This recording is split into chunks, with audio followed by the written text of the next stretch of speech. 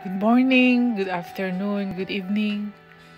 Wherever you are right now, this is your servant, Jegcon, as the witness of God. Yesterday, my friends, nakita ko po ang eclipse.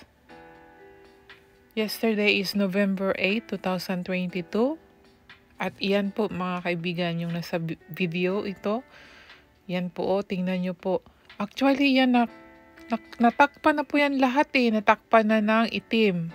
Pero, hindi pa rin nawala yung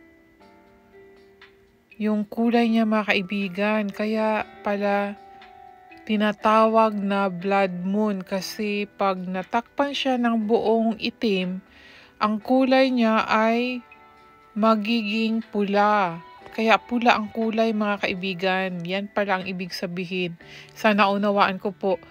Kaya research ko po siya mamaya kung ano ang dahilan ng blood moon na sinasabi. Kasi ang pagkakaalam ko is eclipse lang. Ngayon, marami akong nakikita na kahapon daw, November 8, 2022 is blood moon. So, research ko kung blood moon nga ba.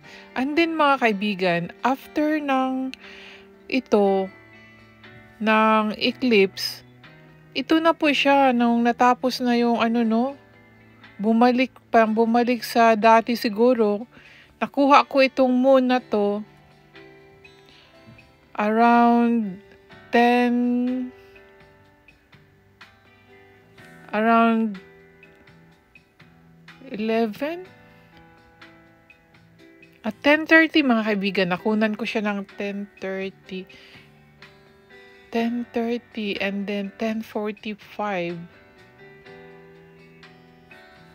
Mga 10.40, uh, 10.50, mga around 11 mga kaibigan. Pasensya na kasi kagabi eh, papasok ako sa work. So yan lang mga kaibigan. Thank you so much for watching. God bless you po.